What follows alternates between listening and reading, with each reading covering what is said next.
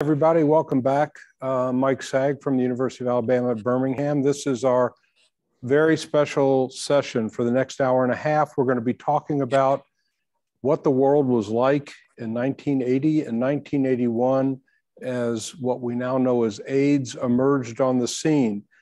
When we were pulling together this clinical conference, the chairs were talking about how we should do something to commemorate the fact that it's been 40 years since the first cases of AIDS were really encountered. If you think back, it actually there were cases through the 70s, but it didn't really hit the critical mass where people said, whoa, you know, something's happening here. What it is ain't exactly clear that we started to get really embroiled into the AIDS epidemic.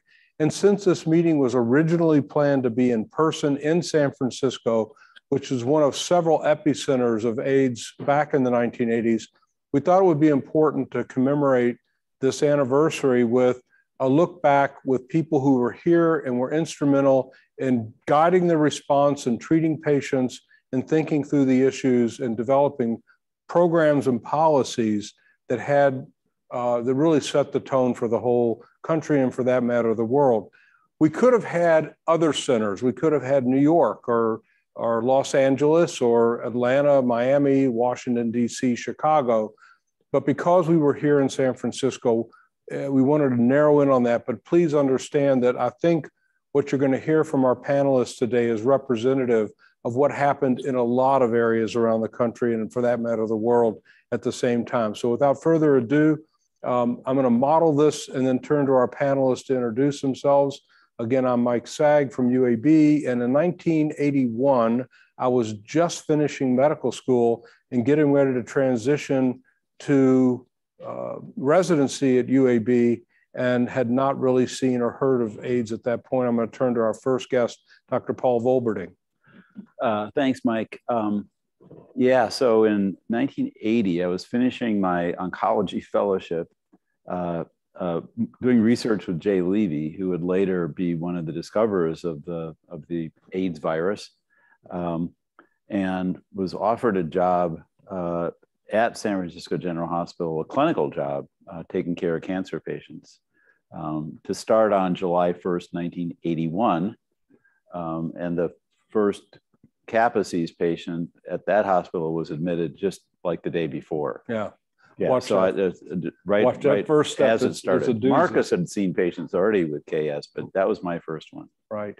Um, let me finish here and I'll go to Marcus. This is Alison Moed. Uh, maybe tell us a little bit about yourself and where you were in 1981. Hi, in 1981, I was just finishing 81. 81. 81. no, that's 81. I was just finishing my my bachelor's degree in nursing at Sonoma State University, but I was working per diem in, Cal- in San Francisco and um, especially at San Francisco General, as well as at, on a psychiatric unit and in a hospice. Yeah. And trying to figure out exactly where I wanted to land. Yeah, and it just sort of defined itself for you. Yes, it did. As it turned out. As we've already alluded to with us today uh, by Zoom are some other panelists. I'm going to start with Dr. Marcus Conant who uh, was here in 1981. Mark, uh, give us a snapshot of who you were and what you were doing back in 1981. Thanks, Mike. In 1981, I had finished my residency in dermatology at UCSF 18 years before that. So I had been in practice for 18 years across the street from the medical center.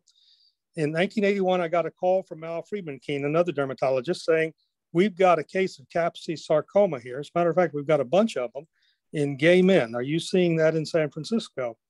And I said, no, but I'll ask tomorrow at Grand Rounds. And I did. And later that morning, I saw my first case because we already had a case admitted at uh, UC. So that was my first case, and I started seeing cases. That was uh, April the 1st, 1981.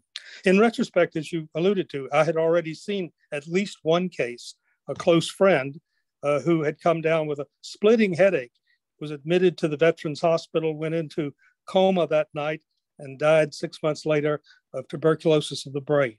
Mm. Clearly, a case of AIDS that we didn't recognize what it was. Right. We also are very happy to have Dr. Kathleen Clanon with us, who is in the Bay Area. Uh, Dr. Clanon, where were you uh, in the 1981 uh, era? So 1980 was my first year in medical school at UC Davis. The first inkling I ever remember about HIV was after the MMWR and seeing tubes of blood in the hospital that were labeled with as many different kinds of biohazard labels so that you could hardly see whose blood it was. And then ultimately, I went to Oakland, to the county hospital in Oakland, which is called Highland Hospital, in 1984 to do my internship and residency. And that's where I first met people who were living with HIV. And rounding out our panel is Dr. Michael Reyes, uh, who was here at that time as well. Michael, uh, what's your story? So in 1981, actually, I was uh, just preparing to start medical school in 82 at UC Irvine. And um, I was hearing all about the work of Paul Volberding and Marcus Conant and watching the publications starting to emerge. And as a newly out gay man, um, you know, I was going through my basic science lectures and hearing about, you know, these new things, T cells and B cells and, you know, you know, risk stratification versus anal receptive, anal, um, you know, penetrative, all this new vocabulary that we were coming up with. And so that early era was me in medical school learning about it. And like Dr. Clanon, I then went on to do res, uh, residency in family medicine at um, UCSF Fresno and have stories about building HIV services there. And Dr. Cheever, you're going to co-moderate with me, but you also have a connection out here. Uh, maybe you can start with that, and then I'll turn it over to you from uh, for the first question. Sure. So in uh, 1980, I was in medical. I was in uh, in high school, and like a lot of high schoolers, we were all worried about herpes. that was the big thing. So HIV was nowhere in our our minds. Um, I did make it out to San Francisco, San Francisco in 1990 to do my internal medicine residency, where I had the pleasure of working with Paul Volberding. He was one of my very earliest attendings out there. Um, so yes, yeah, so it is. It's great to hear about where you all were at that time. And I don't know if um, Paul or Marcus want to talk a little bit about what was going kind of in the medical scene in San Francisco at that moment. So uh, prior to in the 70s or just when the in the early 80s, like what was happening um, sort of culturally or uh, from a sort of medical point of view, or were those two intersected in the Bay Area? Well, since I had been in practice for a long time, let me comment on that first. In, in 1980, the internists were telling us that infectious diseases had been conquered. We already, by 1980, um, we already had the we, we, we knew we were going to have, it happened actually in 82, a treatment for the first viral disease. We had acyclovir coming along. And so, so we had broken the, the gap. We, you know, we, we now uh, had some way of attacking a virus and killing it. Uh, Trudy Elion had done her work, and uh, actually, herpes was my field before AIDS. And so I was doing some of the first clinical trials on acyclovir uh, in that period of time. So the, the feeling was complacency. We don't have to worry about infectious disease. But your audience needs to know that there were no infectious disease doctors in private practice. Every infectious disease doctor, at least on the West Coast, was hospital based, just like a radiologist you would admit the patient to the hospital and then the infectious disease specialist would come see them. So that's been a huge change in the last 40 years because Mike and others now all have practices where they see patients in, in the university practice or in their own private practice. But something else needs to be said in terms of what was happening. Remember in 1980, 81, we, we had telephones we had radio, we had television, we had copy machines, but we did not have the internet. We did not have Google.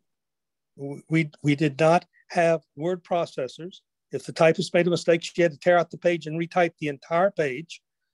We, we had none of the tools that we have now that has absolutely revolutionized the way we think about medicine and practice medicine. We didn't have clinicaltrials.gov we, library systems have changed totally. And so there was a completely different way of interacting with information and with your patients. And later I'll come back and talk about what it was like in that first two or three years, particularly when we didn't know what was happening. We didn't know what was causing it. We didn't know who was going to get sick from it and who was going to live or die. We had no treatments. We were frightened. The patients were frightened. And physicians in San Francisco were frightened. That's one of the reasons a dermatologist ended up taking care of lots of HIV patients was the average internist didn't want people with an unexplained cough or purple bumps on their skin sitting in their waiting room.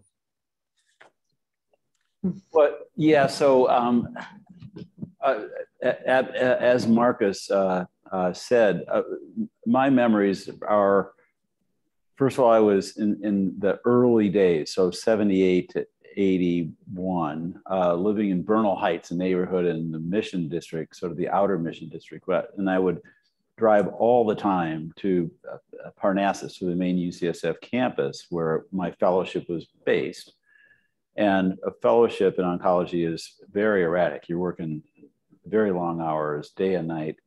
And I would drive this straight line shot from Bernal Heights to Parnassus was through the Castro. Um, and so I would often, very late at night, see lines of people outside bars, uh, bathhouses, and as uh, kind of having moved here from Salt Lake City, it was like, huh, what's happening here?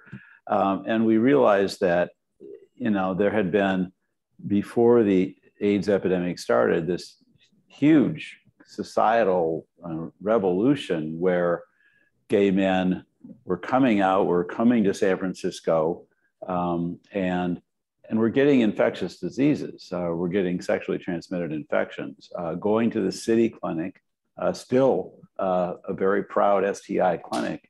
Um, and so the, the, the background of this uh, was that there were a lot of people uh, engaging in practices that, in retrospect, obviously were capable of transmitting this new virus. Yeah. Um, and so it was it was all happening as we just sat and watched. I think we can focus just the first couple of questions here uh, to, to Paul and Mark because we're going to talk about those early er eras and that era. And then as we move into the later 80s, we'll bring in uh, Kathleen and, and Michael. But to pick up on this, uh, Mark, you were doing a great job telling the history of medicine, especially with Gardadi. But dermatology used to be called dermatology and syphilology, right? And so right. STIs were right up, were, were right what you were, were how you were trained, correct? That's right. And, and uh, dermatology is still essentially dermatology and syphilology. They call it venereology in Europe. The European dermatologists still talk about infertility, they talk about gonorrhea, they talk about syphilis, but Americans didn't want their kids to be syphologists, for God's sake. And so in 1942, when penicillin became available, the syphology was dropped from the title. But dermatologists of my era still were trained in sexually transmitted diseases. So, picking up where Paul left off, um, the late 70s with bathhouses, a lot of bars, a lot of uh, just sexual activity, and especially in the gay men and the Castro. What were you seeing clinically uh, either in your training or, or in some of the clinics you were working in terms of, uh, I think what it used to be called bowel syndrome or gay bowel syndrome? Yes. Well, uh, we saw a lot of gay bowel syndrome, but my, my private practice at that point was a referral practice because I was running the dermatology inpatient service in, in 1981. So the vast majority of my patients were patients I had cared for when they were in hospital with generalized exfoliative dermatitis or pemphigus or pemphigoid or really serious dermatological problems. And I wasn't seeing the average gay guy on the street, even though I lived around the edge of the Castro and worked at UC across the street from the Parnassus campus. I saw very few gay men in my private practice. What I was seeing were lots of herpes patients, and hmm. most of those were young girls who were terrified that they had herpes and they were being told they had to tell their partners that they had this infectious disease. And of course, the minute they told their partners that they had it, they didn't have that partner anymore. And so it was a huge practice of young girls with with recurrent genital herpes and it was a lot much as much an emotional practice as right. it was a physical practice we, we sure we saw the occasional case of gonorrhea drop in the office. You saw the occasional case of syphilis. In the clinic, in the dermatology clinic, unfortunately, and I had run the clinic for about four years, we saw the occasional case of syphilis, but dermatologists did not want to see the cases of gonorrhea. And so they were being sent to the to the just a family doctor. And so if you don't see a whole bunch of cases of gonorrhea, you're not going to see many cases of syphilis. Right. So, Paul, I'm going to one more question. I'm going to pitch it back to Laura, but um, now I think Alison has a point. Or Alison, sorry. I, I just wanted to build a little bit off what each of something that each of you said. Um, one thing was, yes, the Castro. When I had moved out from New York City in 1979, and I lived with a gay, very, very dear, wonderful gay friend of mine in the Castro. So I saw that, but I saw not only that activity, but the tremendous amount of, um, of pride, of affirmation in being gay. And I think it's really important to mention that when we when we talk about even about the clinical a clinical picture, because healing and curing is not it's not only doesn't only take place in a laboratory in a you know in a, in a doctor's office it's a two-way street. There's a lot of sharing there.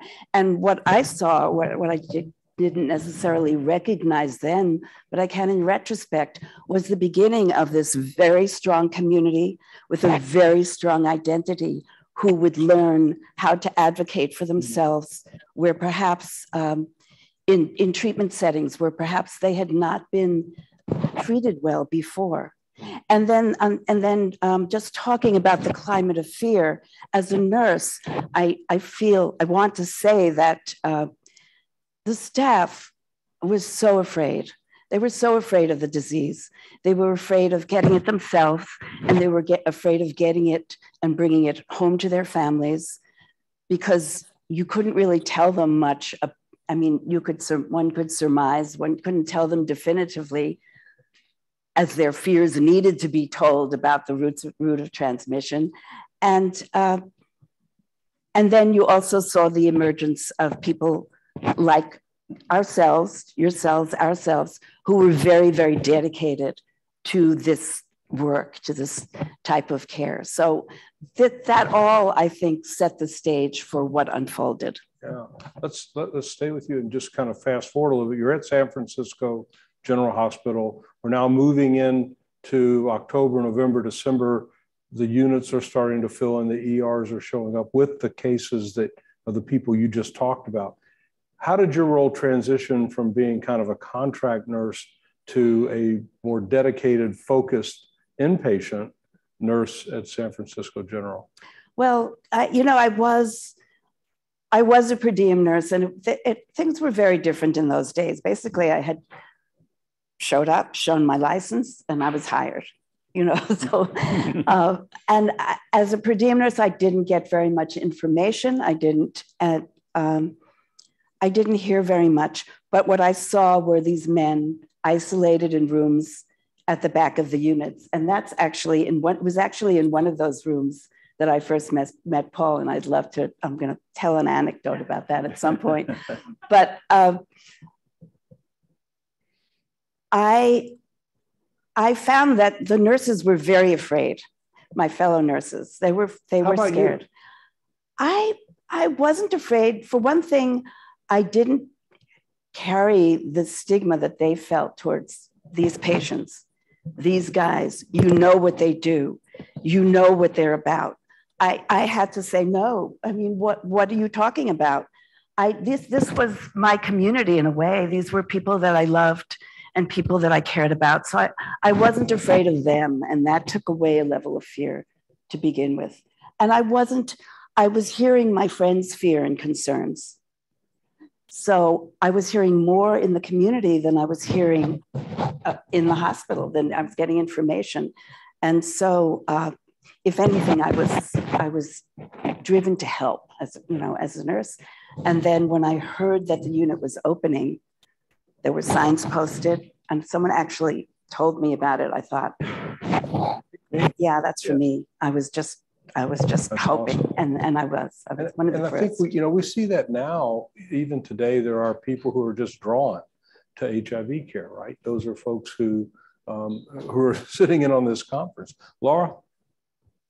Yeah, no, I, I was just interested too in, in learning more because early on you talk about the fear, but also we did not have universal precautions in those days, right? I mean, it wasn't like gloves for everything you do. The people were sticking their hands, uh, dentists were sticking their hands in the mouths of people without gloves on. And, and just, can you, can any of you reflect a little bit more on that and sort of how that played in or, or how that changed or didn't change quickly in this, in this time?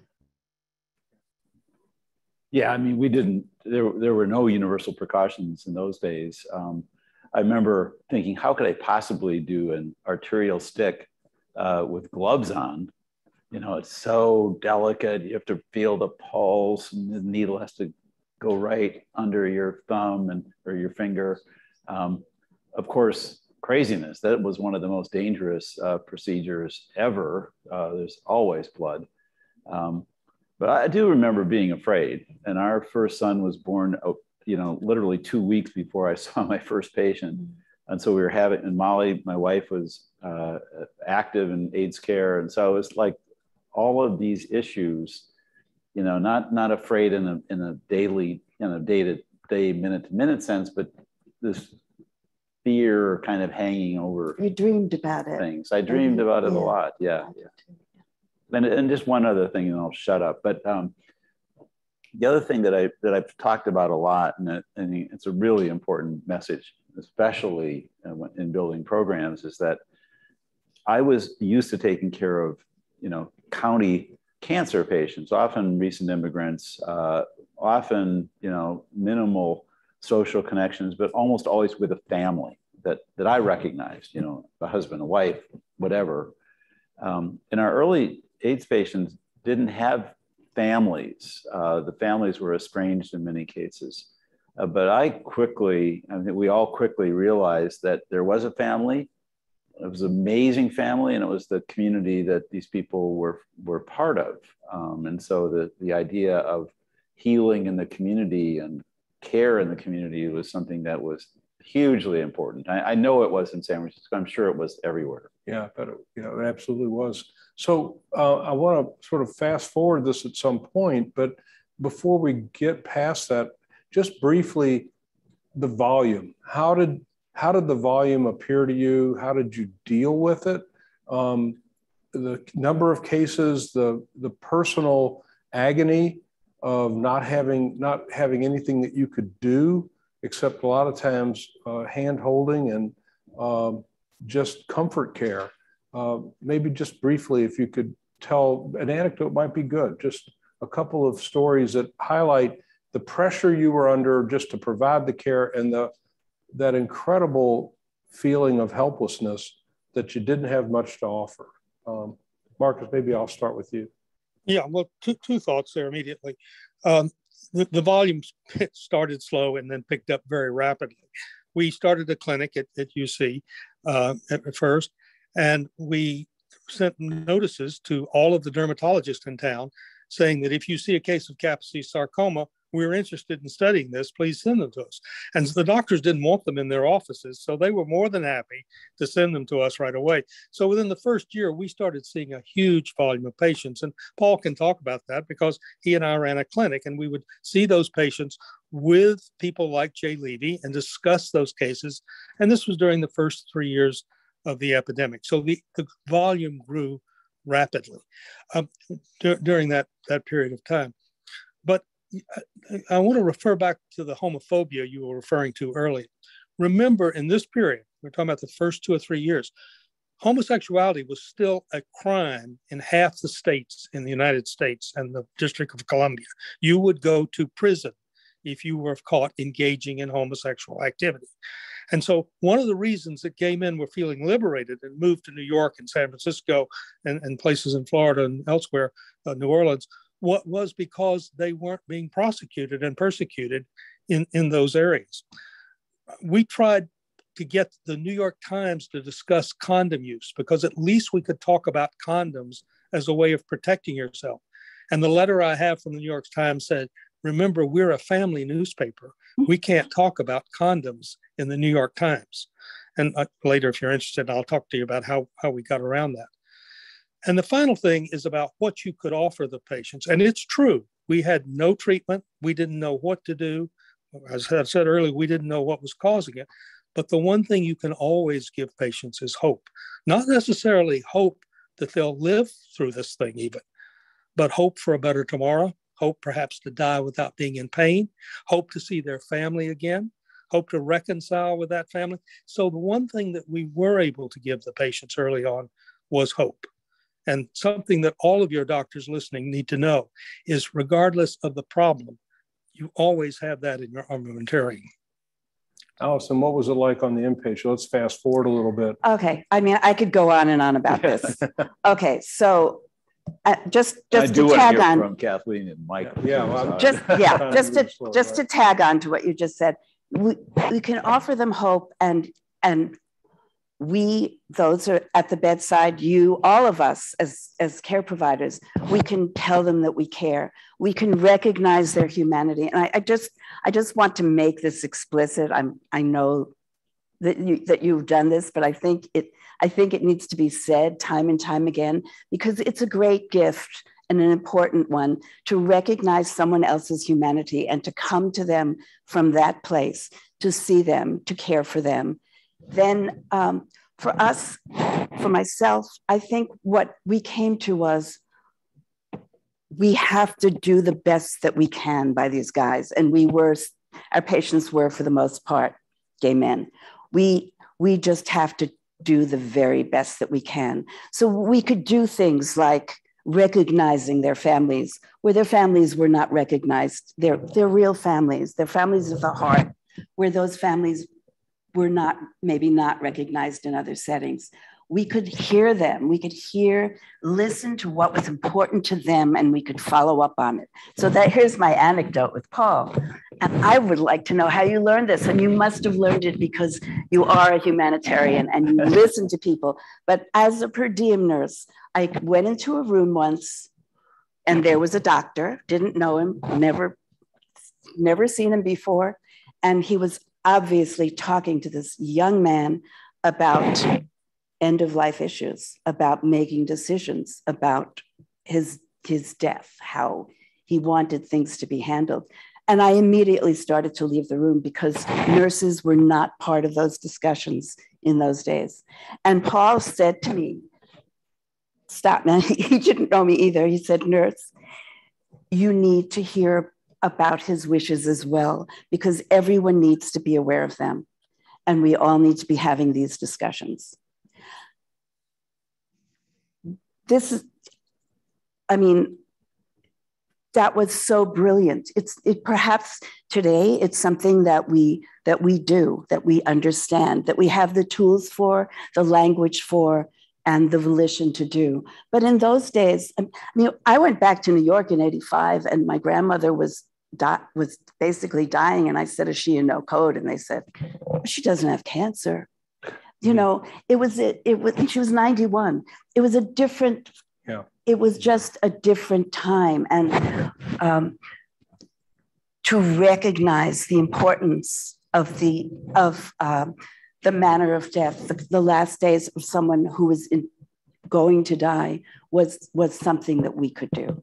So uh, one really quick thing, uh, Mike, was, uh, and I think uh, younger audiences probably, I'm, I'm, sure, do not really fully understand this, but every person that I saw in my clinic, because they they only came when something was wrong. Either they felt sick or they developed a Kaposi's lesion or something else.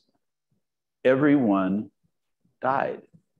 Every last person that came into our clinic with any kind of symptoms died uh, because we had no no treat. We didn't understand what was going on. We didn't know. So, kind of understanding the social setting was really the main thing that we had to do. Um, and so we, I think we learned how to do that. Yeah. So, so I was just going to turn it over to Kathleen and Michael and just ask if there's something that they think about these early days that we haven't covered that they've been thinking about as we've been having this discussion. only the you know only the people the faces you know the the stories um, the people that were lost. So no, I I was working in the clinic, uh, the HIV clinic. I was the main clinician. Um, in terms of volume, we started in, in 1988 with 150, uh, room for 150 people, but there was a plan to increase that um, by the Board of Supervisors, and we were up to 500 within a year. They were mostly young Black men, very young Black men who didn't have their, their families of origin, had, they had really complicated relationships with them. And how painful it was. They would come, you know, there'd be an afternoon, just half a day, where we'd see 17, 20, 25 people. And, you know, they would sit in front of me on the on the exam table and we would both be terrified. Is this the time that there's going to be a fever? Is this the time that there's going to be something new happening that there's absolutely nothing I can do anything about? And that that terror, we were sharing that terror. And some some days nobody was in that boat, but some days a lot of people were. And these were young men who we lost before they had a chance before they had a chance to be who they were going to be, to be the leaders, the lovers, the fathers, the artists, um, the doctors. Um, we lost so many people so young out of that generation. And there was no, it felt like there was no good way to bear witness to that. Um, you know, in Oakland, these were young men whose families were ashamed in many cases of what they had died of and the ability to celebrate what their lives were and could have been was really limited. So the the impulse to bear witness, I, you know, my patients drew pictures, you know, in when when they were waiting for me, oftentimes really a long time in the exam room. You know, I have those still. I, I, I have those still and tapes, you know, of them talking. There's no way that anybody who was not there at that time, I think, could really, really, really feel, you know, what that, what the amount of that loss, relentless loss. There was one year in 1992 when there were 200 of these precious young men who left their, lost their lives, who were just in my clinic. Um, and I, that, you know, changed, it changed my life in, in a lot of different ways, some good, some bad. Um, uh, but you know, what it did to their lives and their families' lives is orders of magnitude greater than what, you know, what the experience was for any of us. And I would follow on that with, um, you know, I graduated and went to residency in a large urban center in the middle of a, a very large rural agricultural valley in California. And when I arrived at my residency, I was ready to do my share for the HIV care system there was none. No one was thinking about it. I did get to, you know, latch on to a really fantastic ID doc faculty member who mentored me and said, you know, I'm not, this isn't my thing, but I will help you and make that happen. And we just rolled up our sleeves and started building HIV services in a public hospital because everybody was going to private practice and private practice was getting overwhelmed with infectious disease. And I was coming into this as a person who saw my faculty members at my medical school die. Faculty members at my medical school died, gay men, male faculty members. And then I come up and then my friends are all dying. And, um, and then I become kind of this community confidant for a very stigmatized community where people will come to me privately and ask me and roll up their pant leg and say, I've got this purple stuff all over my leg. Do you think that's serious? And that was kind of my life uh, for uh, this next period. How'd you deal with that, Michael? You know, um, I had somebody retrospectively tell me that um, you didn't have a mentor. You, you, you had a clinical mentor, but you didn't have a mentor who was really looking out for me. I will say my department chair was looking out for me, but I didn't have like a lot of people to talk to. And I knew I was in a different culture when I showed up at the hospital and the nurses were trying to fix me up with female nurses. So I'm like, okay, they're not reading the room here in the way, the, room was read when I came from Southern California. And I respect that and, and respected that. But, um, it was very hard. And I, I actually did burn out in, in the early 90s and came to Berkeley and did my master's in public health. And fortunately, also, I joined the AIDS Education and Training Center in 1989, and that plugged me into peers everywhere, including Dr. Clanon. So the time, as I knew, is going by very fast. So let's move forward to go from the period of kind of handholding, provision of hope as best we could, preparing people to die to therapeutics. Um, so Paul, I might start with you because you were right in the heart of the AZT, but maybe just briefly go through that transition and what that was like as you signed people up for clinical trials offering this yeah, tangible yeah. hope. Well, I mean, any one of us on this panel could take up any of these questions and run for an hour easily, right? Um, my first clinical trial was with alpha interferon in 1982, actually, uh, with patients that were referred from Marcus's practice to me at the at San Francisco General. That that was one of our big influxes of patients, actually, with these arrangements that we made. Patients never were transferred from Parnassus to SFGH, but this was a different uh, different situation. Now, so um, the in the, in the as we saw more and more patients and more and more devastating deaths, um, people got really freaked out and, and desperate. And this, this whole alternative therapies thing, the Dallas Buyers Club and all that, um, because people needed something, they needed hope and, and they re- really wanted more than just me saying something. They wanted to think that they were doing something actively for themselves. And they, took everything. And, you know, a lot of it was crazy, some of it was charlatans. Uh, but when we finally started having uh, some science behind the virus uh, to give us AZT with all of its warts, sorry, Marcus, I shouldn't talk about warts in a negative way. Uh, That's okay. I, am beyond warts at this point. um, but you know, with all of its many, many imper- imperfections, it was the start of, of what then became kind of a pretty rapid development of, of what ultimately were effective treatments. But people were so desperate. Mm-hmm. Um, people hated AZT. People were desperate to have AZT. Um, uh, I remember giving lectures in the community, and if you were unlucky enough to for your lecture to be either at four, eight, or twelve o'clock, all the pocket beepers would go off because everyone was taking their drugs every four hours. That's a scene in Rent, actually. Yeah, AZT uh, break. Um, and it was and it was true. So so people didn't love it, but they were they were desperate. Others uh, experiences just uh, things that flash as you hear as you think back to the time when therapies were starting to become available. Well, one of the one of the things that it that it was like in, you know, for me in Oakland, that was a little bit of a foreshadowing of the COVID situation, is that, um, you know, my patient group was very suspicious about these treatments.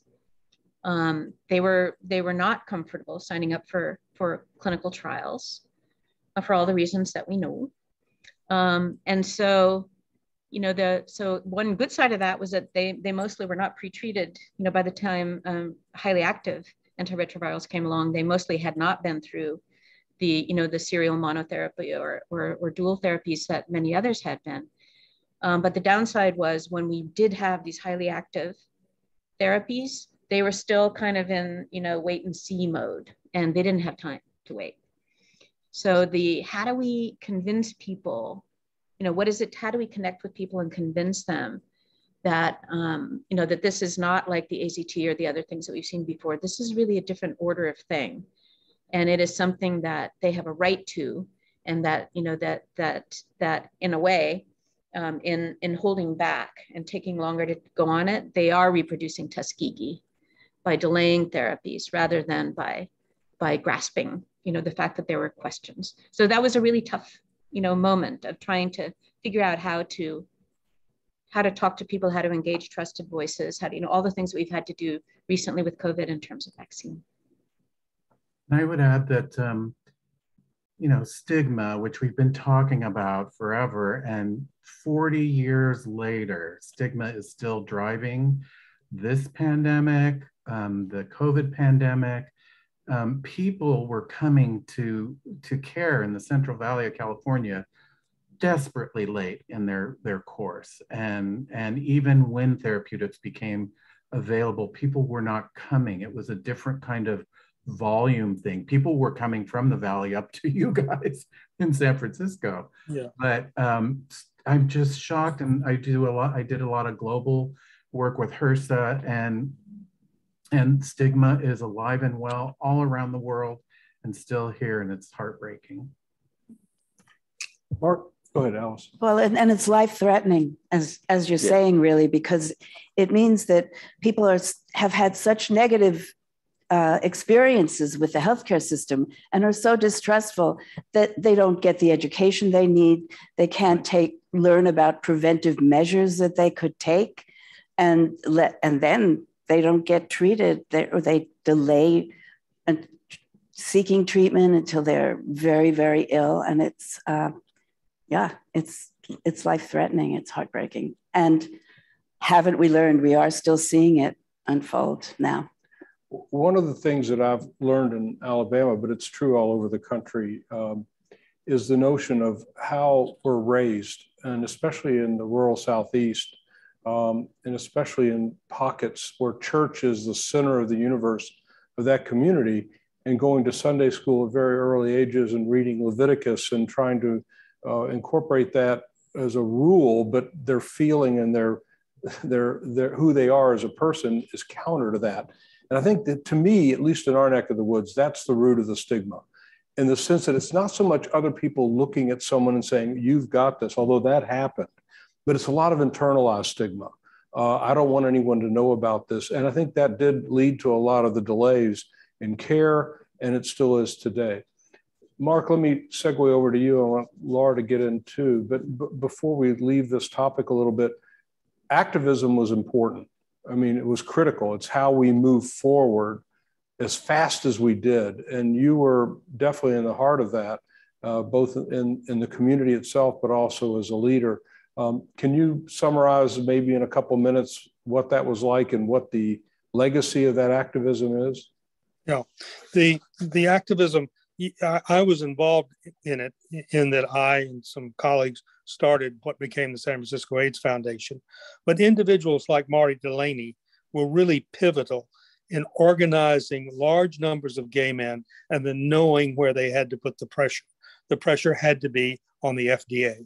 And, and you know what had to happen was how the FDA looked at this community and looked at the drugs that were being proposed and, and uh, de- developed.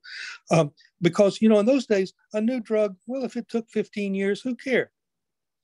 Well, we, we didn't have 15 years because all of our patients were dying anyway, and they were all going to be dead within 15 years. And so you had to totally change the way we approved drugs, got them into the system, uh, did, did the clinical trials, and got them to market. And individuals like Marty Delaney were really pivotal in making that happen. And that can't be said enough. And of course, lots of gay men did lots of things which were, you know, very upsetting. I remember Dianne Feinstein calling me into her office one time and saying, you know, they're standing there uh, on Castro Street waving dildos at me as I drive home.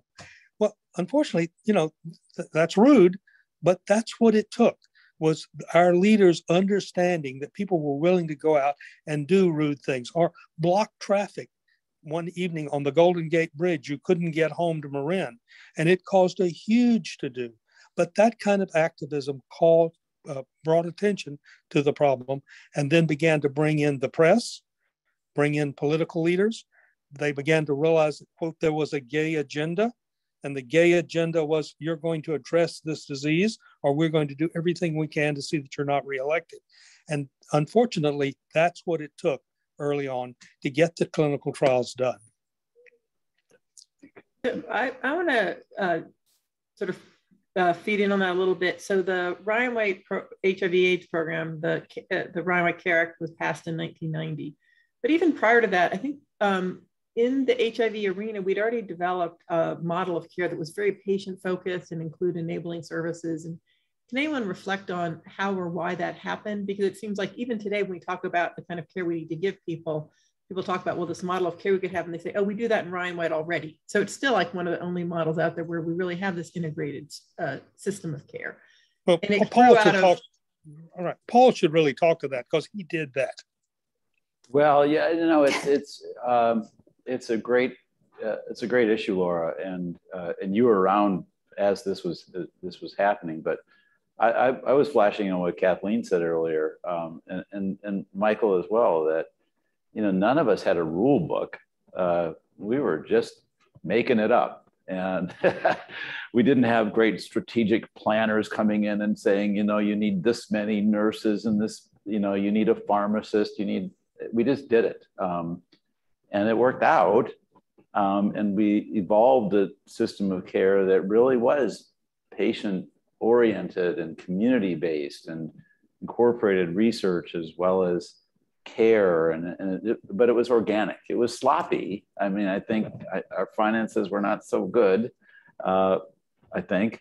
Um, I never knew. They Uh, weren't. but but we, we were doing the best we could given the situation. I just want to toss in another name here of somebody who could easily be on this panel Donald Abrams, who was another oncologist turned HIV doc, um, but who, given uh, Mayor Feinstein's um, uh, urge, uh, started research in the community with community physicians. Um, to that point, all the research was, you know, tucked away at San Francisco General Hospital and, and some at Parnassus, but, um, but the community docs were very involved in this as well. And, and many of them had a lot of, uh, of AIDS patients and they wanted to participate in the research. And so this idea of community involvement and, and, and on top of the model that we already had was a, was a very important one. And I think that, that, that sometimes gets forgotten. I can talk a little bit about how things unfolded on the inpatient unit at San Francisco General. And um, it was, once again, out of this need to give good care and out of need. So as, as the num so first of all, from the beginning, the community wanted to be there and they showered us with goodies. So they made, so their presence was known and their eagerness to help but um, and we did incorporate them as best we could. We started a unit specific um, volunteer group. We in, you know invited people to participate to see the patients, uh, and tried to set all of that up within the hospital guidelines that were already um, established. But a very important factor was discharge planning. I mean. Uh, we tried our patients came in again and again you know they didn't just if if they were lucky. And we wanted them to be able to go home if they still had a home as soon as as soon as they could. So we would try to liaison with the communities. Well those communities were were seeing the unfolding of the epidemic as well and they were changing their services and they would start visiting the unit. And then so then the idea was well, why don't we have a weekly discharge planning meeting? And why don't we go and look at every patient on the unit and see how close they are to discharge, what they might need to be, uh, what, what might need to be in effect, what support systems might need to be in effect for them when they go home. Um, and then then it became like, and how can those be developed? And so it, it just helped kept growing. People people were eager to come to the unit and to do this. And then we were like, okay, what about other patients in the hospital who aren't on the unit?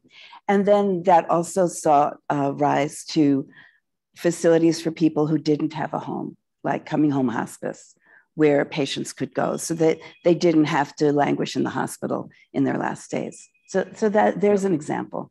And I think that's a perfect segue back to your question, Laura, because um, to me, as I understand the origins, the basis of the Ryan White Care Act, it was because hospital systems in urban settings around the country were being overwhelmed with uh, cases in the hospital. They had no place to go, and they needed discharge planning, and they needed things, places to go. The and the the Congress came together in a bipartisan way, which happened back then.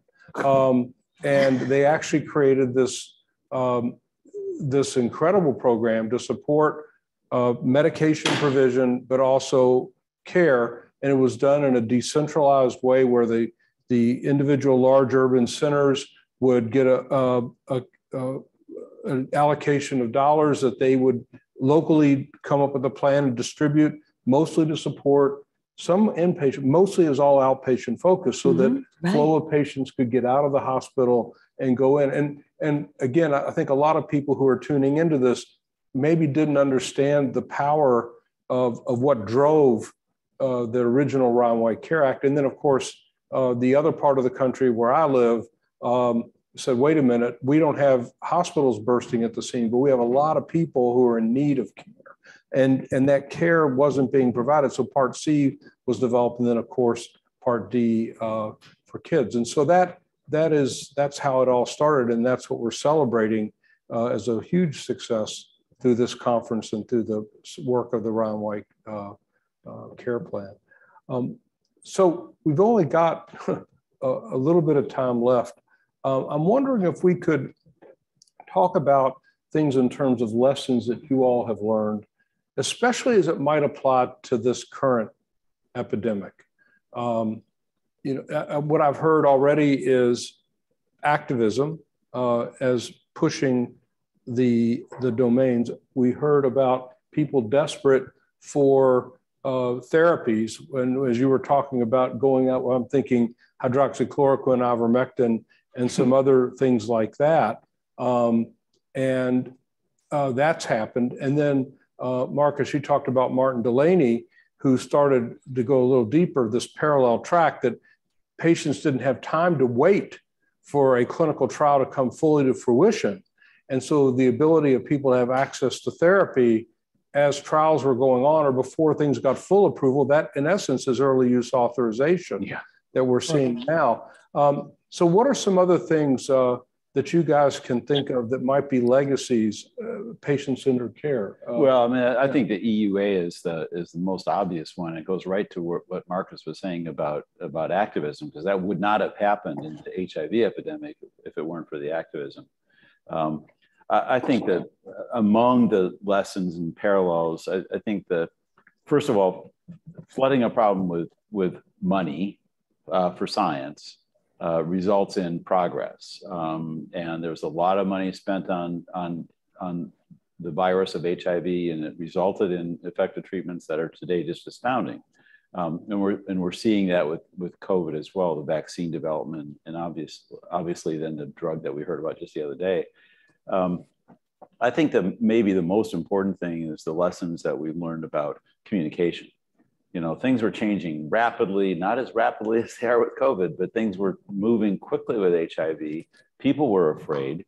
Um, everyone was listening to what was being said. And we knew it would be, I mean, I, I, think we knew that it would be dangerous if we pretended to know something we didn't know. Um, on the other hand, we wanted to give hope, but we wanted to make sure that people trusted what we were saying. And so if things changed and we had to change our story tomorrow because the science had changed, that we could do that without people distrusting us, distrusting us. Um, and, and I think uh, some, I think a lot of us learned how to do that pretty well uh, with HIV. And I think the people that are doing it now uh, with COVID are models of the same, of the same thing. I, I think of, you know, people like Ashish Jha at Brown mm-hmm. and Carlos Del Rio at, at Emory and, and, and others uh, that have learned how to do this in a way that I think instills trust. Well, couple... Sorry, go ahead, Marcus. I, I was going to comment that the parallels between the epidemics early on, you know, AIDS in the first three or four years and COVID virus uh, epidemic in the first three or four months, are, are uncanny. And going back as far as the Black Death, there are four things that you always see with an epidemic, and we saw them with AIDS and we're seeing them with COVID. The first is the leaders want to deny that it's going to happen to uh, this country. You know, it's happening with, with, with HIV. It was only happening to faggots. It's not going to happen to Americans. It's not going to happen to real people. It's not going to happen to people who matter. It's only going to happen to them. And then, of course, the blame. You know, whose fault was it? Well, it's those gay guys for what they're doing. If they weren't doing that, this wouldn't happen. With COVID, we're still blaming the Chinese. It may have started in China, but China responded appropriately, you know, and it doesn't make it go away if if we uh, don't acknowledge, you know, that it doesn't matter where it started. What we've got to do is at- attach the problem, and then you get the the whole thing of loss of faith in, um, in, in institutions. You know, one of the major reasons for the Reformation after the Black Death was because the priests all died. Well, look at what happened with with this. You know, we've changed how we approach uh, uh, epidemics. We're now talking about we, we've got to set up a system where we can have a vaccine within a year for any new epidemic. Now, that's not going to be enough if it's a disease like AIDS, where we still don't have a vaccine. But that's how we're beginning to think about it. And then, as with any epidemic, the, the last thing that happens is inappropriate legislation or loss of trust in in uh, in, in institutions. And and look at the CDC. The CDC was badly wounded by what has happened with the COVID epidemic. And so we've seen the same thing over and over again. The, the FDA was badly wounded by how they first responded to the HIV epidemic. So, yes, the parallels are there. And the next time when the epidemic begins, we should tell people hey, watch out.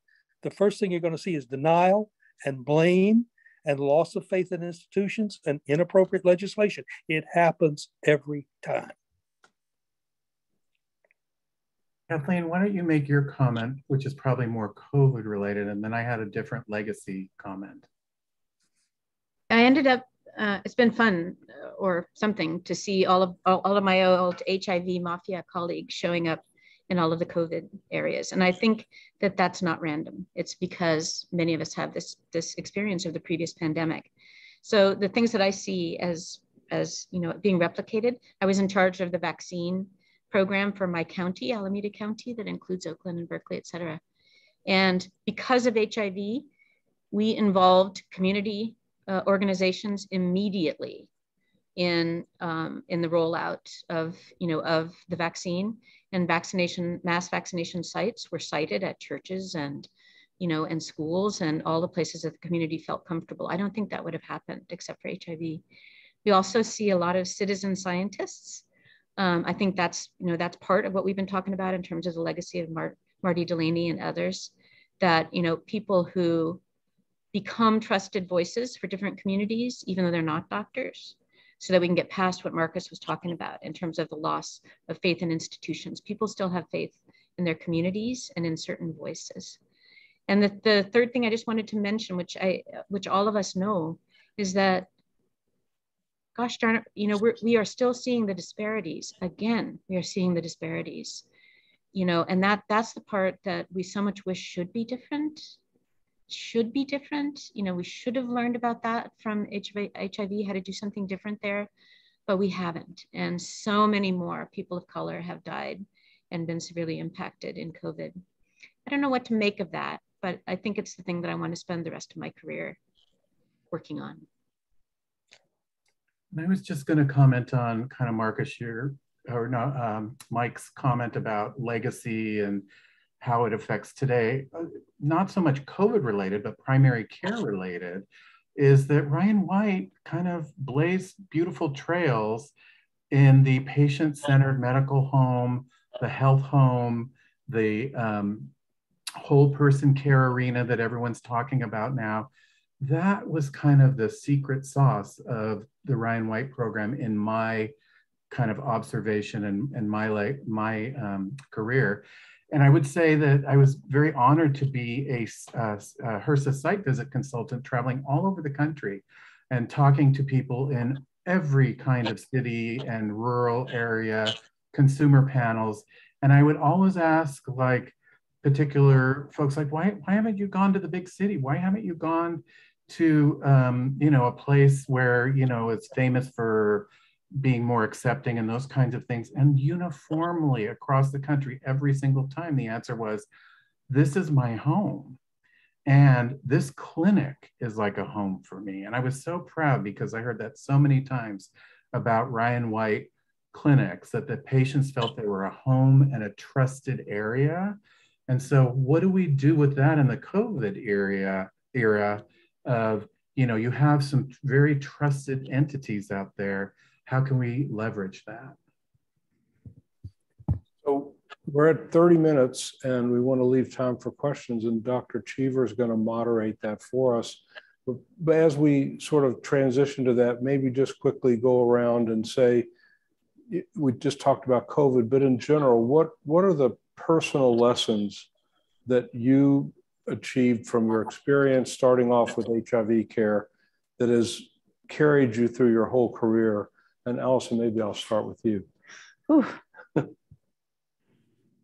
um, hmm, personal lessons that I think I think what I've spoken about, the importance of recognizing um, my humanness, of learning about my own fears and the barriers that I carry within myself that interfere with my ability to care, to be a healer, to be a, a care provider, um, and that that uh, hinder my uh, my ability to hear the concerns of others and to learn from them about what uh, what caring and healing means to them. So th- those those are very that on a grand scale is very important. And then so then along with that, as as you've all been alluding to, the importance of um, of going to people where they live, of us, you know, of and enabling others who they trust if they don't trust us to um, to talk, to be, to uh, facilitate communication, to um, to bring them into a position where they feel uh, they can feel cared for and they can partake of what we have to offer because we can have the best science and, and you know care abilities in the world and if if uh, it needs to be a two two-way street michael maybe i'll go to you next um, i would say something that has carried me through my career is what i've learned about um, the consumer voice. And I think Ryan White program was particularly good at raising a consumer's voice into the programming, their care with this activism thread woven into that. It was an, uh, an experience from Ryan White that I found fraught in terms of implementation globally, because culturally, there's a different, you know, each country has different aspects and approaches to consumer voice. Um, but to me, you know, we've spent, a, you know, eons building systems for ourselves. And, and Ryan White helped us think about how do we build systems for our consumers that meet them where they are, kind of what Alison was alluding to. So I'll, I'll stop there. Dr. Conant? One thing I've learned is the job is never done. We can be very proud of what's been accomplished in the last 40 years. We can keep people alive now for normal life expectancy with the drugs that have been developed. But from my point of view, the job's still not done.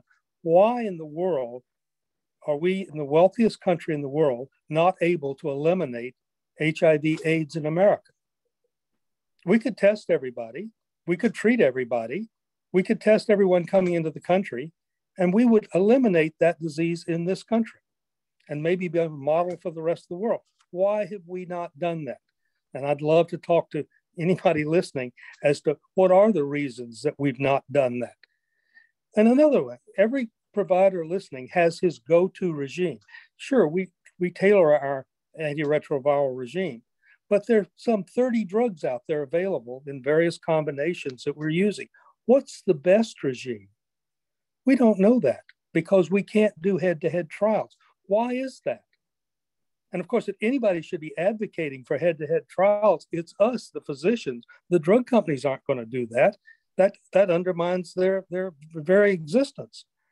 And I guess the last job that I see that has not been done, that AIDS points us to, is we should be developing a national epidemic response plan so that the next epidemic, and there will be another one, we are prepared to respond to that. This one has only killed 2% of the population as uh, um, was alluded to earlier, AIDS killed 94%.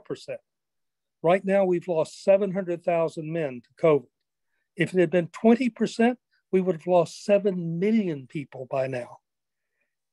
The doctors of the world are the ones that have to speak up. The politicians have a different audience. The drug companies have a different audience. The people listening to this program are the ones who can make a difference going forward. Dr. Clanon? I think um, I think all of us, you know, are haunted by those by that. I, in my mind, I think of it as the time of the great dying. And there was never a time where we got to declare victory against HIV because, as Marcus says, it's actually not done. It's still there.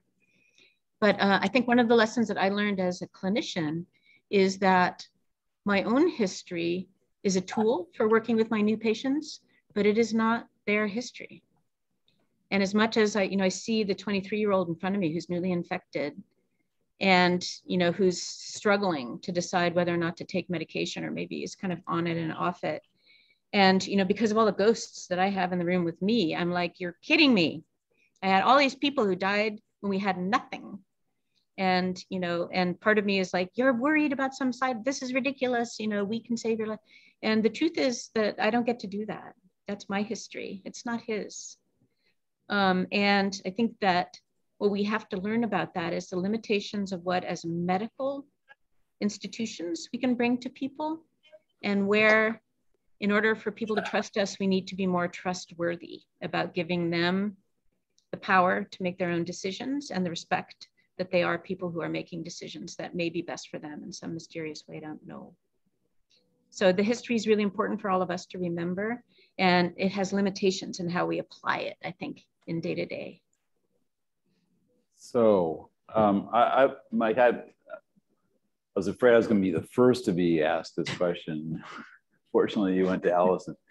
Um, I would take this in a way different direction personally. Um, and maybe it's just where my head is at uh, right now. But, you know, I think some of us found ourselves thrust into a very visible position. You know, we had were watching what we were doing and celebrating us to some degree mm-hmm. and, and all that.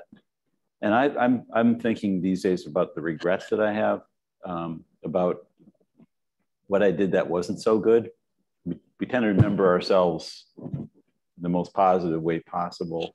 Um, I would next time around, um, I'd be I'd be a much better partner uh, with my colleagues um, I wouldn't have taken so much myself. Uh, we haven't Connie Wofsy today, um, and and and I'd, I'd be a much better person with my family than I than I was. I was so distracted by all this. Um, so for the people that are kind of working with COVID, you, you know, some of you are going to find yourselves, you know, thrust in the middle of, you know, the whirlwind. And I would say, eh, keep it under, keep it in perspective. Um, you can do good things. Other people can do good things, and you should work with other people um, uh, and give a lot of credit uh, where it's due. So I, I'm, I'm sort of dealing with some of that. Great. Well, thank you for all that, those comments. Um, we have a, a, many comments in the chat thanking everyone and, and, talking about how wonderful this has been and, and some uh, specific questions. One is about if there were any African American uh, providers in the early days of HIV. I know I had some great discussions with Dr. Scott in Oakland many years ago. He actually spoke at this conference uh, several years ago. Um, but I don't know if others have names or people they want to bring into the, this discussion today. He was my go-to guy for, for, for sure. Yeah. Uh, terrible. Yeah. Yes. In Oakland, he, he was tremendous. Um, the other person, sorry. I was just going to say he was, you know, for all of us, Bob Scott, just a just a tremendous, tremendous, and also kind of someone who already knew, pardon me, the lessons that Paul's talking about in terms of balance. Um, the other the other person that um, people were remembering was uh, Dr. Wofsy. I don't know if you want to say anything about her, Paul. She died quite young.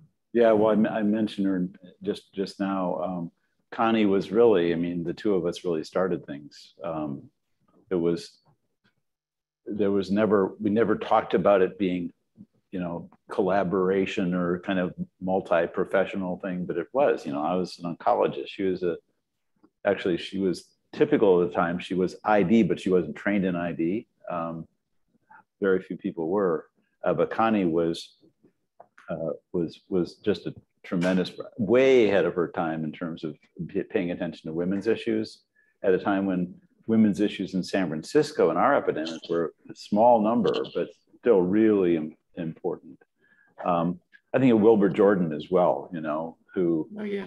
you know, kind of, you know, solely kind of managed South Central LA and, and the AIDS epidemic and, and has done a, just a tremendous job with it. So there are great models, not, not enough.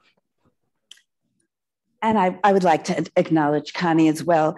Really, we saw we saw Connie Wofsy and and Paul and Donald Abrams as kind of yeah. I don't know. You were triune God. Yeah, they, they, they were a tremendous support to us when we started this this unit. And so I, when I say we, I also want to acknowledge Cliff Morrison, who was the nurse yeah. who who really started the unit, who who brought it to fruition, who hired me, and and uh, the all of the original nurses who started. And, and let's unit. put a plug in for the movie Five B, um, the documentary that Alison is definitely part of. Cliff is part of it. Um, I think it really, in, a, in, an amazing way, shows what was happening and the thinking behind. Yeah. Uh, the inpatient unit. Yeah, thank you. It, it really does. It's re- and it's really a picture of what was happening at that time. The, the unit opened in July of 83. So that's 5B and you can, it was, it was commissioned by Johnson and Johnson and you can, you can find it on any platform. It's, it's, it is worth seeing, thankfully.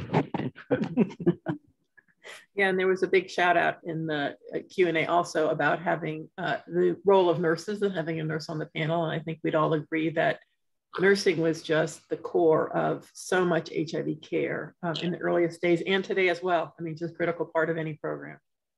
Thank you. Um, there's another comment here just about what we actually know or think is the best. Will it be, is that necessarily true in the future as we learn more and more? And the example given is of, you know, really encouraging your, your patients to be on uh, nucleoside therapy because that was what was available and we, it, we would hold you over until the cure. Wasn't going to be that great for very long but it would help. And then when we had uh, really much better therapies in, the, in late 95 and 96 that then they didn't do that well because they didn't have a backbone on which to use their protease inhibitor. And so wondering similarly about some of these uh, man, like vaccine mandates and other things around covid that that does seem to make the most sense now but not really knowing what the long term will hold. So I think it has been humbling. I keep early on in, in, in, in COVID, when I was speaking to our HRSA colleagues or at the department, I would reflect on my HIV and say, we think this is true today. This is the best information we have. But when we tell you something in two months or in two weeks, it's because we understand something differently or better. And that you need to you need to understand that. And I think so many of my, my patients with HIV do. I talk to them all the time that you are a pioneer turning 70 having been on antiretrovirals for 30 years you know there aren't a lot of people in your shoes. And so we are learning as we go here.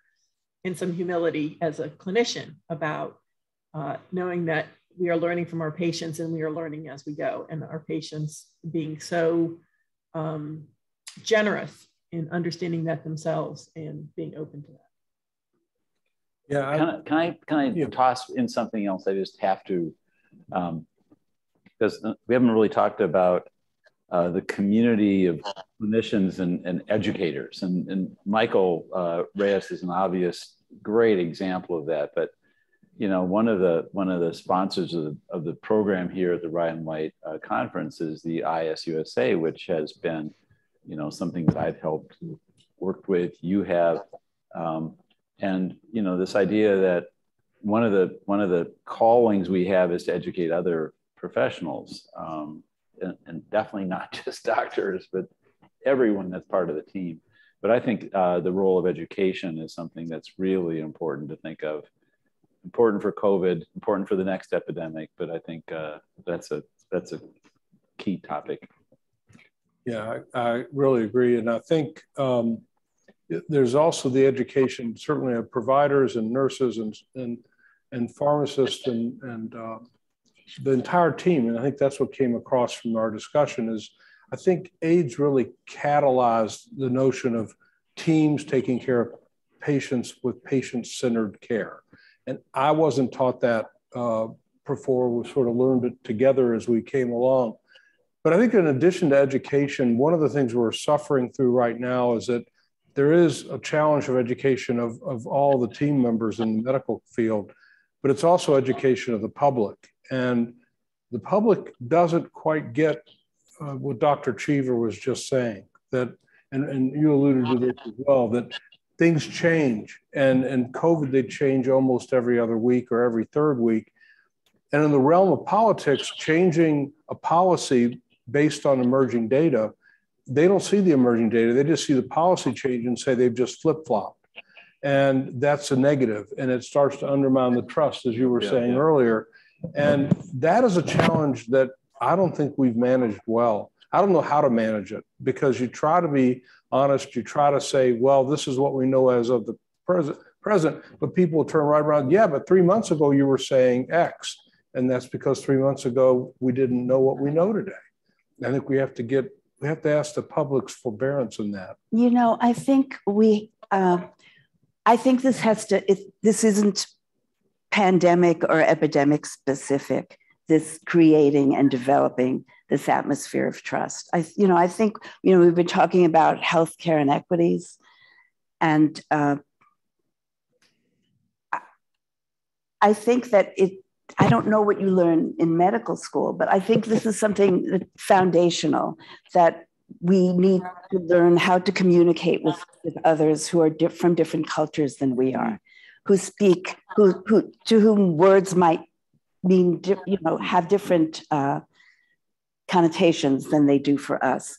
We need to learn how to recognize those differences and um, and to acknowledge them and to reach out to people where they are and to employ the community groups, as, you know, as you're alluding to, um, that are present to help us to create that that uh, really foundation of trust. And you know it, i mean it has to start in labor and delivery you know or it has to it has to start from the very beginning because you can you can be we know that when it comes to a crisis yeah some people are on their best behavior but some people are not.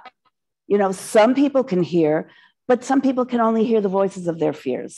So we you know i, I think that the challenge is for all of us now who are in, involved in healthcare to to be setting the stage for the next dire um, dire occurrence. I would also add that in, on the educational front, in the AIDS Education and Training Center world, and actually on a whole person care project that Kathleen and I are working on, we're training in other skills such as consumer engagement skills, so how do you you you approach consumers, vulnerable consumers differently with motivational interviewing and really, you know, steeping people in the concepts of trauma informed care, which is impacting our most vulnerable population. So I mean, we're constantly learning, and as you were all saying, you know, it's it's an evolving um, dialogue, but those have become very um, important topics lately. Wonderful. I, I would just toss in that I, I think, you know, uh, I think it was clear beyond any doubt that when some older, older, elder statesmen were, were in our training that we de- definitely didn't really have much focus on communicating with patients, especially across cultural barriers, um, or with communicating with other members of the, of the healthcare team. Um, I, would like to believe that that's better now um, and Laura might be able to comment. She's making a scowling face, like maybe it's not yet well enough. Uh, but at, at, least I think it's it's it's something that is on the table in terms of what we're talking about. Laura, yeah, yeah so we in HRSA have been really trying to get uh, sort of interprofessional teams as part of your training so it's not something you learn the day you, you know, you're out on the wards or not even on the wards, the day you're in your Ryan White clinic for the first time, that it really needs to start even in education. And still it's very, very siloed. We're making a little bit of progress, but not great progress. And Ryan White is a great example of, of doing that differently.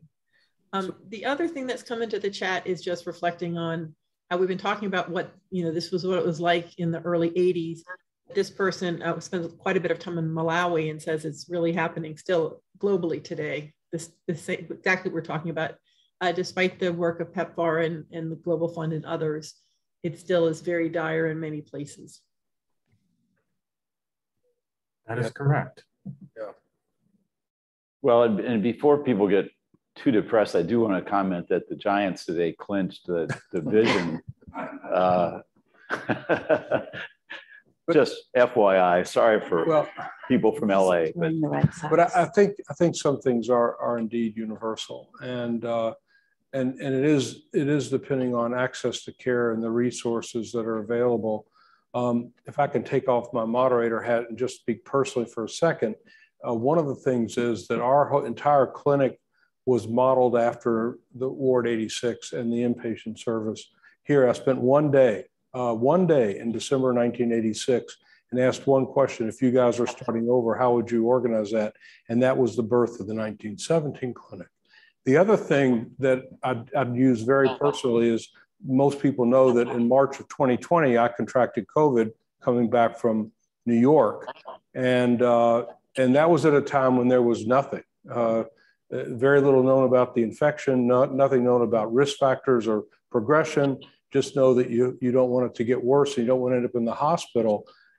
And I flash back to all my experiences over those 14 pretty horrific days of being sick with this to what it was like taking care of patients. I drew on the courage that the patients taught me of how to face unknown. I didn't know every night when my oxygen levels dropped to 90 or a little bit below, do I call 911 now or do I just tough it out? And I was able to tough it out. But that courage I learned from patients that I took care of when the unknown was right around the corner. And the unknown is by definition the unknown.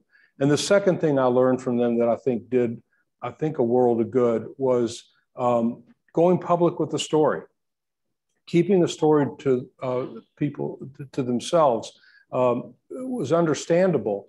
But the patients I think who had the most impact on changing the epidemic were those who talked to the media, who went public, um, or who became activists, much like Martin Delaney and others. Um, and I learned that. And so even from my, what I called Rikers Island, my little room in the house where I was isolated, uh, I would do radio and television and print interviews as much as my energy would allow because I thought it was important to get the word out. I learned that from taking care of HIV patients.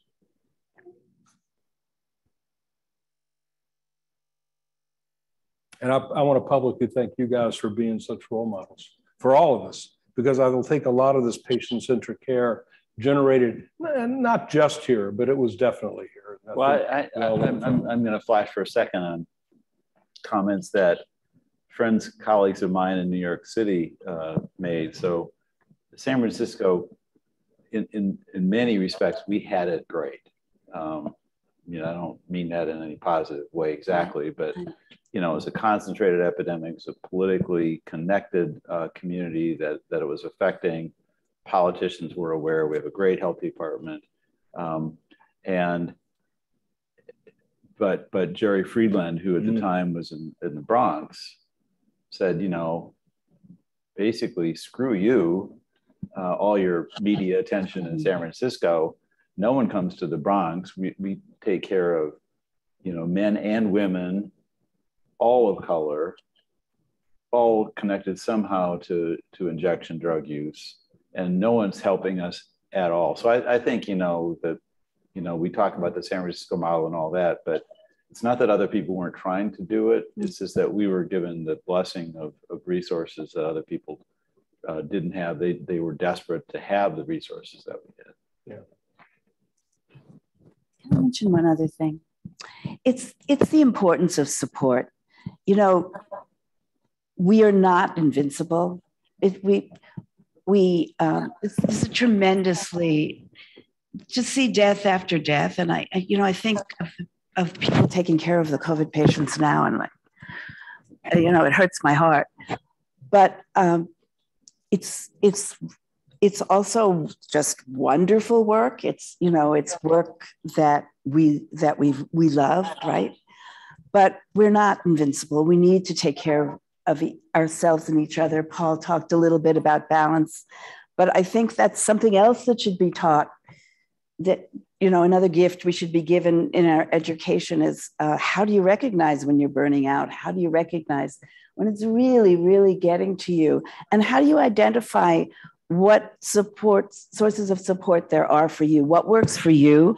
And how do you insist that uh, that the structure that you're operating in helps to provide you with the sources of support and education that you need. So, the, and once again, we were lucky. We had Shanti, we had wonderful social workers, and we had a loving community. But uh, but still, I think each each of us has to define. You might describe what Shanti is. Shanti was an organization that provided practical support for cancer patients. Dying. And uh, with in, in, his wisdom, and, and so with the uh, advent of the epidemic, they became more active in HIV care, providing practical support in people's homes and emotional support. And Cliff Morrison, who started the unit, in his wisdom, um, invited Shanti presence as you know staff members on the unit, both to speak with the with with and for the patients, and then also to interact with staff. So that was a very important role, well, and and the social workers as well. Yeah, and and Marcus, um, I, I remember your colleague Paul Dague, who yes, Paul. I was going to say Paul Dague, actually, uh, and of course Paul Dague did that. Uh, yep, a psycho- yep. psychologist bringing Shanti into HIV, and then he immediately developed Kaposi sarcoma. It was really a tragedy. Yep. Well. So, Laura, other comments from? Yes. So we do not really have any other questions in the Q and A um, at this time. I don't know if anyone. We have a little bit more time left. If someone wants to ask. Or can I just make a comment about kind of uh, other threads about how do you survive all this and how do you keep in the fight? And I've been very lucky in my career to be buoyed by the, the collegiality of the Ryan White program and the HIV clinicians and taking that into other realms of what we're doing. I get to work with these heroic people all the time, and that has really helped me get through it. And I'm thinking, I'm speaking about the people that are attending this conference. Yes, and as we're closing, we had one more comment, just uh, just bringing the Denver principles into the room as well where people with HIV came together to talk about if, if, if services were going to be provided and care was going to be provided, it would be including and in partnership and hearing the voices of people with lived experience. So absolutely agree with that. Um, also just uh, in the discussion about kind of resilience and learning that in um, medical school or nursing school or early in your career, there has been some new funding now to really work at the systemic level of, of really looking at burnout in terms of having uh, healthcare organizations have a sort of a culture of wellness for people that work in them, which is not exactly what occurs in most places now. First, and then two, to really integrate that into the curriculum of nursing and pharmacy and medical schools, so that as people are coming through, they understand that at, at a more basic level and don't have to learn it the hard way once you've burned out and gone down that deep, deep well. So, um, so those are two things that, that all of that funding really was as the result of this COVID uh, pandemic. So as you try to look at silver linings, that might be one of them that we really need to focus on it, not just at the personal level, but the level of organizations and systems in which most places have EAPs, employee assistance programs. It's yeah. just something to keep in the back of your mind. You can make a call and have someone to talk to. So Absolutely. I guess I guess in the closing minute, uh, really a, a, deep thank you to all of you for for participating in this and bringing such uh, rich storytelling and lessons learned that I think uh, can instruct us all and, and how to move forward as new challenges hit all of us. But I, I think the things that I'm taking away is you never know what's going to happen the first day on your job or um, or soon after you start someplace or you're in the middle of school and a new something pops up and got to be ready for it in a way and be flexible but also be aware that the people around you um, are also involved and deeply affected and sometimes you get sucked into a vortex that you just don't have control over. And I think the lessons I'm hearing is take care of yourself in that process as much as you can. We're certainly learning that in COVID right now. And, uh, and that the future um, really is about adapting. And, and, but throughout all that, I think human nature is human nature, as Dr. Conant pointed out, how so many epidemics follow the same pattern. We don't tend to learn from it. I think it's not a question of learning. I think it's just people reacting in predictable ways. And it's really hard to change that. But at the same time, the heroism, the, the heart that is part of the response to HIV, um, I think something we all draw from. Uh, at least I know I do. I think all of us listening do. Uh, that ability to sort of reach out, feel the patient's stories, and try to somehow convert that energy and that passion into what we do every day. And I think that's what the Ryan White Care Act helps us enable. So thanks everybody for being here and, for doing that. And, uh, sign off. Thank you, Dr. Peter.